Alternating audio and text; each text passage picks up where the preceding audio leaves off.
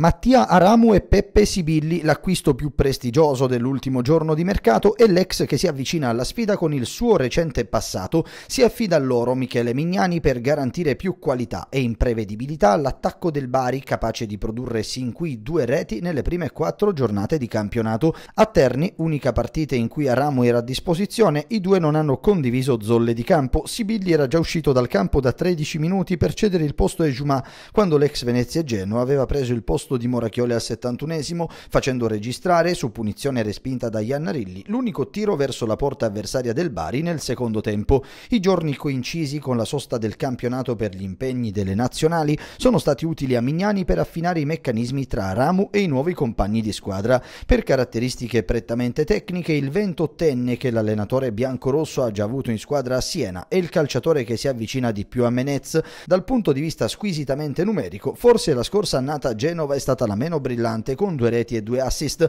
mentre la stagione 2021-22 è stata quella del debutto in A con il Venezia con ben 7 gol e 5 passaggi vincenti nonostante la retrocessione del club. Sempre in Laguna, il precedente biennio in B aveva visto Aramu a segno 20 volte e capace di griffare 12 assist per i compagni. Ora non vede l'ora di mettere in mostra il suo estro e il suo talento sul campo, magari in asse con Sivilli, giocatore che ha già dimostrato cosa può garantire con il gol di Cremona e l'assist per Nasti con contro il Cittadella. Insieme hanno un potenziale, numeri in carriera alla mano, di 9 gol e altrettanti assist in due per ogni stagione, certezze e rampe di lancio al tempo stesso. Per capire se Mignani opterà per loro in coppia per la prima volta dall'inizio a Pisa e chi sarà il terminale offensivo, occorrerà attendere i prossimi giorni. Nasti è atteso in città mercoledì dopo gli impegni con l'Under 21 azzurra, mentre restano da monitorare le condizioni di Dio. L'ex attaccante del Monza ha ripreso gli allenamenti lunedì lunedì con lavoro personalizzato e corsetta a bordo campo e non vede l'ora di tornare in gioco dopo i soli 15 minuti collezionati sin qui in biancorosso prima di fermarsi per un guaio muscolare contro il Palermo.